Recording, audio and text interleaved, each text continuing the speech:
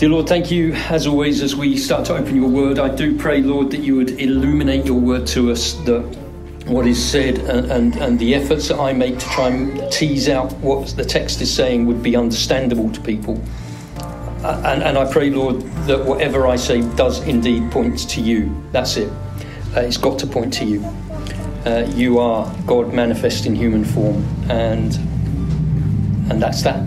That's just that. And so, dear Lord, I just turn this message to you. And, and I pray, Lord, that you would honour it and that your name would be glorified. And I pray, dear Lord, that any error is mine. Any error is mine. All glory, all honour is yours. Okay, right, so we're going to continue and pick up with this church in Sardis, right? We're going to um, carry on to do this, and I really want to get this done today. So um, uh, we're going to have a quick read through and we're going to continue to unpack this little letter.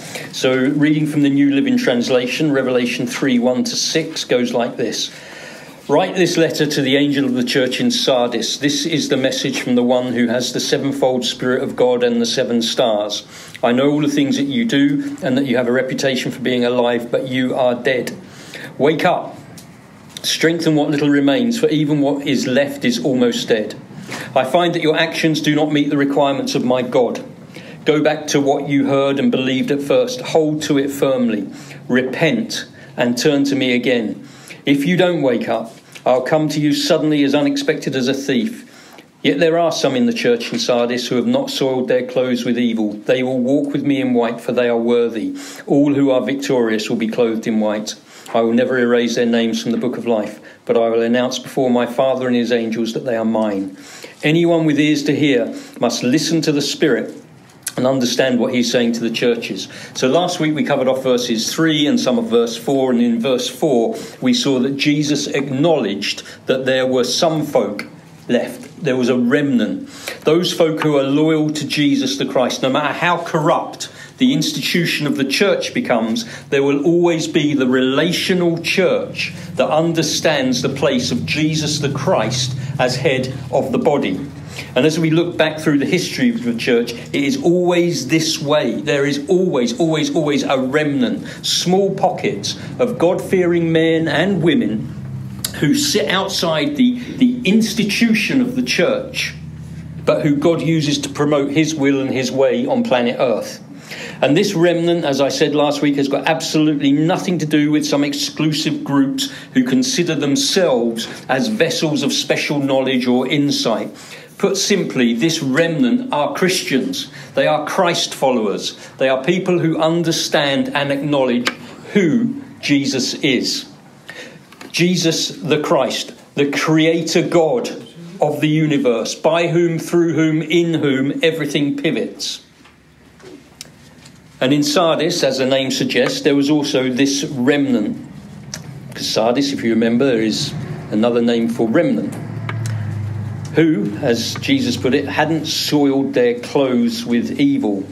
Soiled or defiled their clothes with evil, it says here. Well, that last part there in the Greek isn't there. So that last part with evil isn't actually in the Greek text.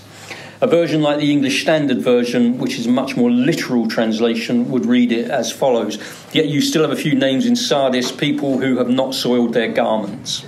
So there's no with evil. For they will walk with me in white, for they are worthy. So these are folk who haven't soiled or polluted their garments. And that Greek word, soiled, polluted, stained, is a Greek word called uh, moluno, moluno, and it means, along with that normal usage of soiled, polluted, stained, defiled, it's used in the New Testament specifically for those who have not kept themselves pure from the defilement of sin. So within the New Testament, that particular word is used to sort of convey that type of meaning. These are people who have kept themselves pure from the defilement of sin. And I think that's quite important for us to note because all the way through Revelation, this book of Revelation has a really Jewish feel to it. If you study Revelation properly, you will see that there is a real Jewish feeling to it. The way it uses language, the way that it borrows concepts and ideas that would be recognizable to an average Jewish listener. And here, there is at least, I think, a nod, um, certainly a nod, towards the, the purity laws that all Jewish folk would understand very well. And I remember Sardis was full of Jewish people. It had lots of Jewish people there. And purity was central to Israelite society since the days of Moses. And it was associated with a small group called the Essenes, who we, you will all know about, came out of Qumran. They were, they were the pure ones, and they wore white. Even within the secular Greek Roman society, white was considered to be an indication of purity. And when you're living under such sort of stringent regulations around purity, as they were back in that era, then when you wear white clothes, it makes it really easy to see the tiniest little stain on you. Really easy.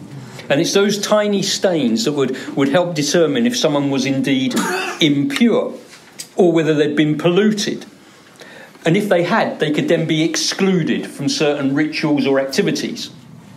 We see in the book of Leviticus that there was a whole law around what to do with a leprous garment. That's found in the uh, Leviticus 13, 47 to 59. They'd have to wash it, they may even burn it with fire. Also in Numbers 19, there's the fact that you can actually be defiled by death. A dead body, dead bones, or a grave could defile you. And the person defiled in this way, well, they had to go through various ceremonial cleansings and they had to wash their garment or clothes in order to become clean again. In fact, in a section on death written by Solomon, for the sake of argument, uh, he notes in his writings in the book of Ecclesiastes, Ecclesiastes 9, verse 8, Let your garments be always white, let not oil be lacking on your head. A white garment, purity, undefiled, not tainted by death. And you think of that imagery in terms of how Sardis was described. Sardis was a dead church. It was a dead church. Death defiles all that touch it, and death defiles all that it touches. And it makes things unclean. But there were some folk in that church in Sardis who weren't defiled, who weren't soiled by the, by the deadness that wrapped around that little church, because there was a remnant there. They may have been weak, but they were faithful to the Lord. There was a remnant. Sardis was once upon a time alive, but it was now dead. Christ was once dead, but is now alive. Jesus the Christ, the resurrection and the life, stands there in the midst of this congregation in Sardis to revive this dead church. If only they would focus on him. And it's all about him. It is all about him and how he deals with the removal of pollution, defilement, or sin. Later on in the book, the faithful are described in that manner actually in that book of revelation. You look at revelation 7 revelation 7 13 to 14 then one of the 24 elders asked me talking to john who, who are these uh, who are these who are clothed in white? Where did they come from? And i said to him sir you are the one who knows. And then he said to me these are the ones who died in the great tribulation. They have washed their robes in the blood of the lamb and made them white the robes have been made white by the blood of the Lamb. Who's the Lamb? Jesus. They've not been made white by a belief in God. They have not been made white by a belief in gods. They have been made white by washing their garment in the shed blood, the atoning sacrifice of Jesus the Christ, the God man. And it is this God man who stands in the middle of his flagging church looking to revive them. If only they would turn to him. If only they would turn back to him. And now we come to what is the first of what's in effect three promises that are offered to this remnant of believers in Sardis. You see, it's these believers who will walk with Jesus Christ in white because they are considered worthy and I think that implies that these believers will walk with Jesus when he returns in triumph. We'll touch a little bit more into that as we unpack the next verse, but there is certainly something very suggestive of a triumphant accompaniment. And the reason The reason they can do this is that they have got robes washed in the blood of the Lamb and are therefore worthy. Because the robes are washed in the blood of the Lamb, they are then worthy. So I was interested to see what that Greek word was that the English translates there as worthy. The Greek word is axios, and it means weighing, having weight, having the weight of another thing of the like value. So it's worth as much. So the robes that the believers wear have as much weight and value and worth as the lamb, because those robes are covered by the blood of the lamb. You see, we stand worthy, not because of anything that we do, but because of everything that He has done. And we are covered by Him, not because we happen to have value and merit, but because He does. We're covered by Him. All our value is derived from Him and His achievements. Uh, now, I don't know about you, but that makes me feel a lot better about things because it's not about me. It's, it's not about what I do or don't do. It's all about what He has done. So I don't sit in judgment for anything because He has done it. He has taken the judgment. He has secured the beachhead. He's done it all. All I need to do is to allow myself to be covered by Him. And if I do that, I am worthy because I am weighted as He is weighted and he's worthy. That's it. The 24 elders before the throne all cry out, Revelation 4:11, "You are worthy, O Lord our God, to receive glory and honor and power, for you created all things and they exist because you created what you pleased." You know, this concept, if we did actually apply it to our lives, is completely liberating. If you think about all the times in your life that you have sat there wringing your hands about things you did or you didn't do, well, guess what? It's not about you. And it's not about what you did, and it's not about what you didn't do. It's about what He is and about what He did. All you have to do is to be covered by Him. Talk about the grace of God. Personally, I am very thankful for the grace of God. Very, very thankful. And before anyone here or anyone else that listens to this thinks that I'm advocating a, a greasy grace, do as you want style of attitude, that's not what I'm saying. We still have a life to live. We still need to hear. And remember, hearing means to obey. Doesn't just mean listening, it means to obey. And we still need to walk a life that honours Him. You are not saved by works, but works and the fruit that they produce is a pretty good indicator of the type of tree that they're from. Pretty good indicator. So, for these believers, there would come a day when those who had woken up, those who had demonstrated their loyalty to him throughout their life, would one day share his honour when he returned. Which moves us into verse 5. All who are victorious will be clothed in white I will never erase their names from the book of life, but I'll announce before my Father and his angels that they are mine. The verse starts with the same phrases we've already looked at in previous churches all who are victorious, or to the overcomers. And you will, of course, recall that the one who overcomes is the one who, who sits in the faith by belief in Jesus the Christ. The Apostle John tells us about this in 1 John 5, verse 4 to 5, and I've already taught on that, so I don't plan to go over that one again, so I won't repeat myself. You'll be pleased to hear other than to say that to be an overcomer, there is absolutely nothing that we can actually do other than to sit in the completed works of Jesus the Christ. That's it. That's all we can do. And so, in this sense, what it does is it dovetails perfectly with the garments which are made white by the blood of the Lamb. Nothing you can do. Nothing you can do. Nothing I can do. We sit in reliance, in the complete reliance on the person of Jesus.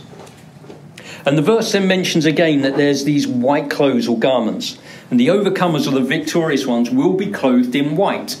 So we'll just touch on this. Sardis had a background in trade and woolens and goods and dyes and textiles and all of that sort of thing. So garments were not an unusual thing there. And outside of this, there was also the Mosaic laws, the teachings of the Essenes, uh, and there's also some other things that were carried out in the Greek Roman world, all talking about white garments. You know, if there was a celebration for someone uh, in Rome or in that area uh, following a Roman battle or triumph and someone was being honoured, then the following would happen. All work ceased, and the true Roman citizen donned the pure white toga. The specially privileged few, usually the civic authorities and sometimes relations or friends of the victorious general who was being honoured, had a part in the triumphal procession. White garments were symbolic of someone's good or even great works or achievement, along with aligning with the image of purity and freedom of defilement and pollution. Not to mention that going into a pagan temple, you would change into white garments to approach the temple in order to perform your pagan rituals, because to approach the divine, you needed to be clothed in white. And here, Jesus is saying that everyone who overcomes would be clothed in these special garments much like the victory celebrations, much like the purity requirements, because these garments would be an outward testimony declaring victory, purity, and transition to a glorified state in Him. Because it was His blood. It was His blood that those garments were all washed in. And I think that too is something that was really worth noting, particularly as it links back to the sort of Jewish way of doing things. You see, uh, we actually sort of touched on this in, in the reading on Hebrews, I think. In, in Leviticus 16, we were given an insight into the Day of Atonement and the ceremonies that were all wrapped up in that. In Leviticus 16, the high priest has to put on his white linen garment before heading into the Holy of Holies. And then he, what he has to do is he had to sacrifice a goat as a sin offering. He had to sacrifice a bull as a sin offering. And once that and a number of other things and rules he had to do, he was then to remove all of his clothes before entering the meeting tent again. Think about that. A white garment being used while animals are being sacrificed. What is the garment going to be covered in? Blood. There is so much in this atonement ritual that speaks of Jesus. So much in it. I won't pull it all apart here, you'll be pleased to hear, otherwise, we'll be here until about three o'clock. Yeah, and we don't want that. So, anyway, suffice to say, the high priest is clothed in a white garment, a white garment that is covered in atoning blood through the animal sacrifice. And our high priest, Jesus the Christ, is the atoning sacrifice. And it is his blood that now covers us, allowing us entry to the Holy of Holies. And it is our high priest, Jesus the Christ, who was transfigured Remember? Transfigured, Mount of Transfiguration. He was transfigured, and he's described in these terms Matthew 17 2. As the man watched, Jesus' appearance was transformed so that his face shone like the sun, and his clothes became as white as light. Mark 9 2 to 3. As the man watched, Jesus' appearance was transformed, and his clothes became dazzling white, far whiter than any earthly bleach could ever make them. The atonement the divinity, all wrapped up in the person of Jesus the Christ, done and dusted. And that verse then continues that Jesus will never erase those worthy, i.e., those who are covered by him and his achievements. He will never erase those. It's those folks whose name would never be erased from the book of life. The book of life. Let's just appraise ourselves of some of the, uh, for want of a better description, heavenly books. There's a number of heavenly books in the in the book. Um, I'll add the references for you to have a look at, but um, I'll just mention a few of them. We've got the Book of the Living, which, the Book of the Living, which is all presently all of those who are presently alive on the earth, saved and unsaved, and you can read about that in Exodus, Deuteronomy, in the Psalms, and Isaiah. The Book of the Living. You've got the Book of the Names of the Lost and Deeds. You can read about that in Revelation 20. You've got the Book of the Names of the Elect, found in Daniel and in Revelation. You've got the book that contains the names of the faithful followers of the Lord in Malachi, Philippians, Hebrews, and Revelation. Now, that may sound pretty odd in our sort of day to day living, but it certainly wasn't odd in the Jewish understanding of things. You see, think about this we've got a, a, a significantly Jewish focused, Jewish written book of Revelation. It's very, very Jewish in the way that it's put together. Moses came down to Israel with the Ten Commandments and he found them all up to evil badness. He come down with the Ten Commandments, and what are Israel up to? They're up to evil, badness. And he has this conversation with God in Exodus 32, Exodus 32, 31 to 33. Moses returned to the Lord and said, Oh, what a terrible sin these people have committed. They've made gods of gold for themselves. But now, if you will only forgive their name, but if not, erase my name from the record that you have written. But the Lord replied to Moses, No, I will erase the name of everyone who has sinned against me. King David, in his psalm, Psalm 69, makes this petition to God. Psalm 69, 27 to 28. Pile their sins up high and don't let them go free. Erase their names from the book of life. Don't let them be counted among the righteous. Or, if you were to go to that incredible book of Daniel, you'd read this Daniel 7 9 to 10. I watched as thrones were put in place and the ancient ones sat down to judge. His clothing was as white as snow, his hair like purest wool. He sat on a fiery throne with wheels of blazing fire, and a river of fire was pouring out, flowing from his presence. Millions of angels ministered to him. Many millions stood to attend him. And then the court began its session, and the books were opened. We already touched on the heavenly books. So, this concept of keeping books, keeping records, isn't something that was unfamiliar in the Jewish culture. And as we read this part of Revelation, our focus is on the book of life. And the book of life, as we're shown it here, has a dual focus. There's two things going on with it. There are the names that are written, and there are the names that are erased or blotted out. So, what does that mean? And more importantly, perhaps, what does it not mean? You look at that section of the verse. I will never erase. Now, this in the, we, we miss it in the English, but this in the Greek, the negation here in the Greek is a double negative for emphasis. This is the strongest possible form of negation in Koine Greek. Nothing is stronger than that. Nothing is stronger than this in terms of en- emphasis. Jesus will never, never, never, never, never, never, never, ever, ever, ever, ever, ever, ever, ever remove the names of those who are worthy, those who are weighted like he is, who are covered by him and his sacrifice. Never, never. It can't be any stronger in the Greek. Never. He'll never erase them from where? The book of life. And the book of life is a metaphor for eternal life. If you are covered by Jesus the Christ, you have eternal life. And nothing, ever, no, nothing, nothing. Think about that. No thing, nothing, ever, never, ever, ever, ever will take that from you. Ever. Now, erasing or blotting out the name from the book of life is also a metaphor, and it's a metaphor for judgment. A metaphor for judgment. So, you are either covered by Jesus the Christ and his blood soaked garment, and therefore you stand in eternal life, or you are not. And if you are not, you are awaiting judgment.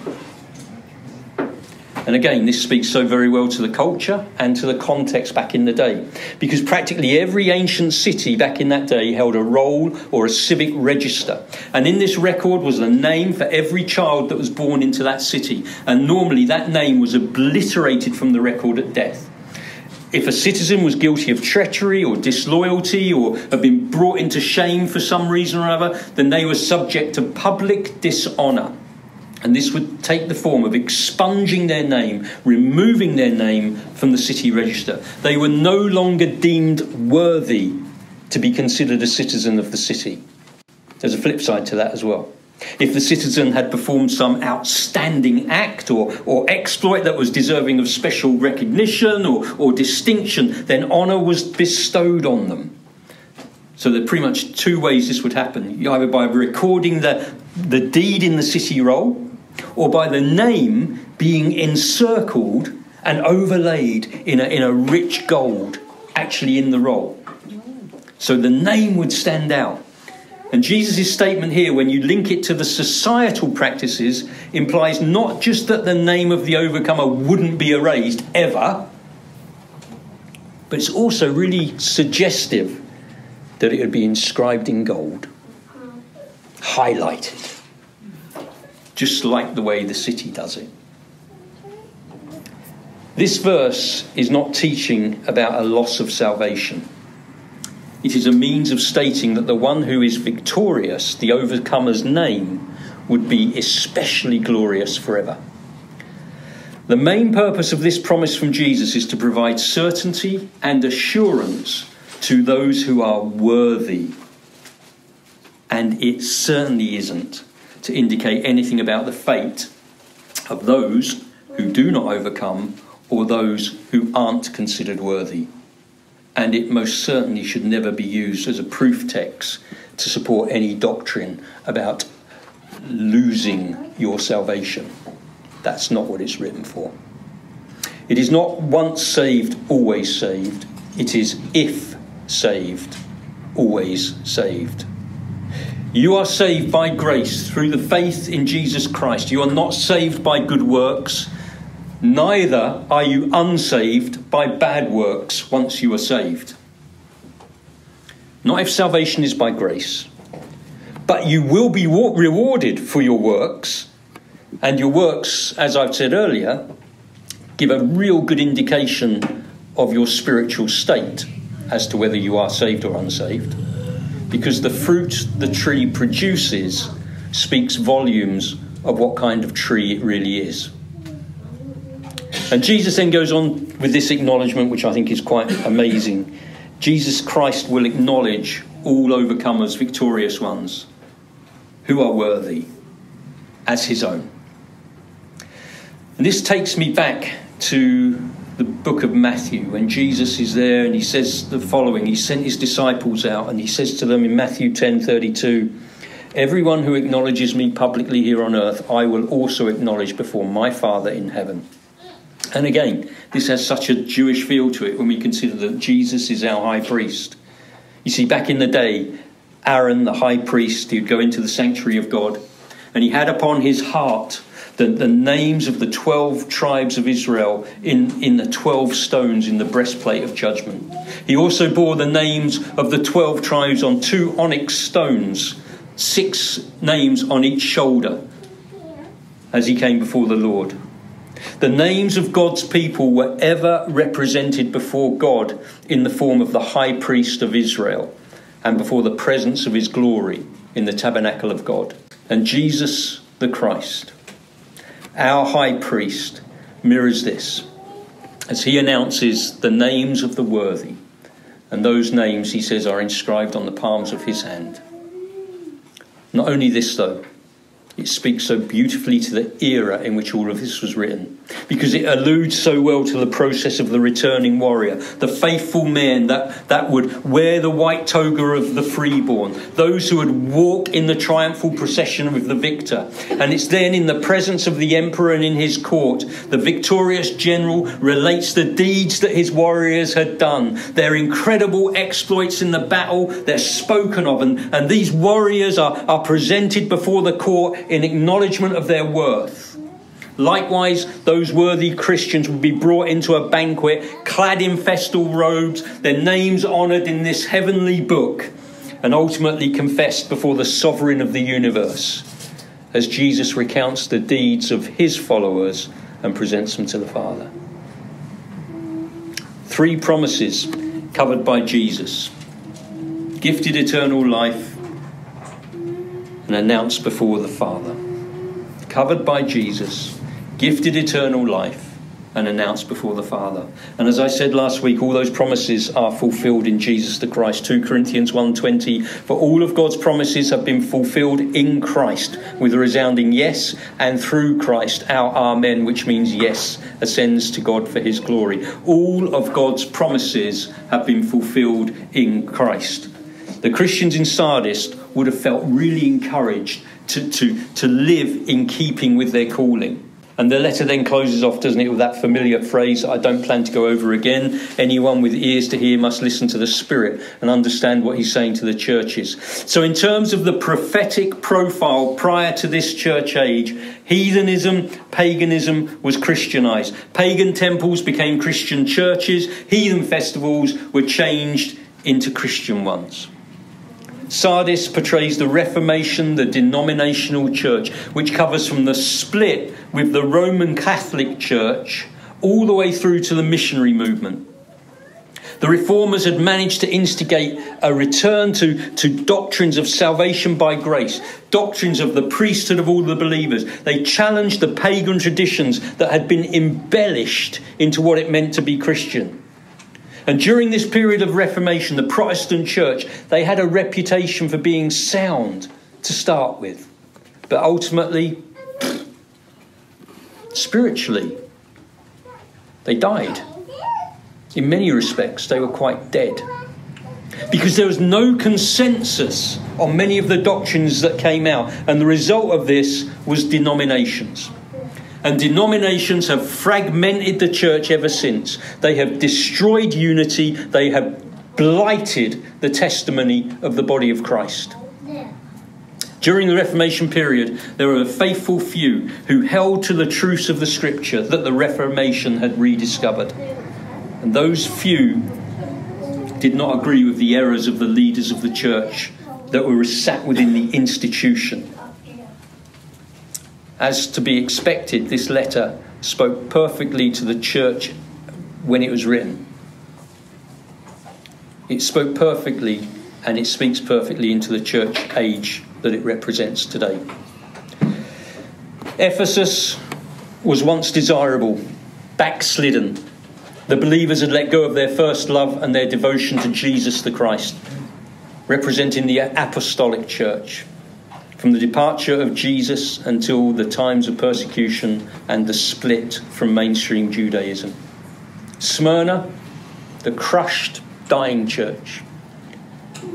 They were satisfying his heart, representing the persecuted church, covering up until the time of Constantine. Pergamus, well, the mixed, marriage, objectionable church, filled with confusion and compromise this is when the church married state, covering from the time of Constantine all the way up to the rise of the papacy. And then you get to this Thyatira church, Thyatira, the church that tolerated pagan practices. They overlaid Christianity on top of all of these pagan rituals. And this represents the medieval church. And it covers the fracturing of the universal church, the Catholic Church, it covers the rise of the Roman Catholic Church and the thousand years leading up to the Reformation and beyond. Sardis, the church that we've just been working through, the church that had a name but failed to live up to its promise, relying on self rather than relying on Christ. And this is represented by the Reformation or denominational church age, covering from the 1600s up to today. We need to recognize the patterns that Scripture show of how the institutional church is going to track over the centuries and where we sit today in that pattern that's being played out and what that means for us. And we should consider this letter to the church in Sardis as a health warning for us today. Modern day Sart is a corruption of Sardis's ancient name, and likewise, the denominational church today is a corruption of all that was gifted, through, gifted to it through the Reformation. This should have been a time to reach back and find unity. Didn't happen. It reached back all right, but what it did is it reached back and it spawned, and it continues to spawn disunity, continued fragmentation, and with continued fragmentation, you end up with nothing. In Sardis, there was a false confidence which showed in the character of these inhabitants. The church presented itself without reality, it's, it, it presented appearance without reality. It spoke of great promise, but it actually provided very little sign of performance. It had an outward appearance of strength, but this was undermined by its lack of discipline, its inability to keep watch, and its lack of diligence, just like the city which ultimately led to its ruin. The name of this church, Sardis, became synonymous with failure and a job half done. Today, throughout the world, particularly in Western nations, many churches have a reputation for being good. Maybe due to the building that they've got, maybe due to the church activity or events that they're involved in, or their antecedents, their history. Yet spiritually, they are as good as dead because they don't have Christ. What steps give an indication towards this death? Well, when a church starts to worship its own past, or its history, or its reputation, or its name, or the names in the church. When the church is more concerned with forms than with the function and life, i.e., the shape and form of a building should be primarily based upon its intended function, what its purpose is. When a church is more concerned with numbers, how many bums have we got on a seat, than with the spiritual quality of life that it's trying to produce in its people that come. When the church is more involved with management than with ministry or with the physical over the spiritual. And then you couple all of that with a failure to present the Word of God and to effectively communicate and engage the heart, the soul, the mind, the spirit, so that the Word can be applied personally and those hearers can then take responsibility to walk by the Spirit who indwells them. Church doesn't do any of that. You've got a sure blueprint for a church that will fail and will die. Our task is to walk by faith in His power, to deal with sin through honest confession. And if we do, great. If we don't, we will hinder, we will grieve the work of the Spirit. If we do anything otherwise, Today, biblical Christianity is becoming increasingly politically incorrect. Increasingly.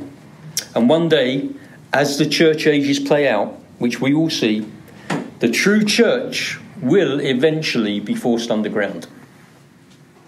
It will. J. Vernon McGee says this the attack against them will be led by the liberal denominational churches. And sadly, I think that is so often the case today. And the result is that great truths are being lost. Justification by faith alone in Christ alone. The God breathed scriptures. The eternal condition of man. The redemption by Christ and his blood. Each of those statements over the years I've been teaching, I've heard watered down by various churches. The great truths of the Reformation are being lost. And Christ is looking at and expecting something from us. He's expecting something from us. And so we must listen to what this church is being told. We must wake up. We must keep watch. And we must remain diligent not allowing the comfortable nature of our lives to lull us into imbecility or into a deathly sleep. He who has an ear, let him hear what the Spirit says to the churches. Let's just pray. Dear Lord, I thank you for your word. As always, I thank you for your word. Lord, as we continue to work through this book of Revelation, these letters to the seven churches, I pray, Lord, that you would become clearer and clearer to us. This book is all about the unveiling of you. The message to your churches is all about unveiling you. And I pray, Lord, that as we wrap up this this little series, Lord, over the next few weeks with these next two churches, we will see more and more of you and the relevance of you to your church. The church, which is your body, of which you are the head, and of which you stand in the middle of. I pray, dear Lord, that you would give us eyes to see you and ears to hear you. May your blessing rest on the folk that are here today, Lord. I pray that you go before them, that you pave their way, and that you walk ahead of them into the week, so that they would indeed honour you in the way that they conduct their lives, and the fruits of their life would demonstrate the condition that they are indeed worthy and covered by you. And it is in your beautiful name, Jesus, that we pray. Amen.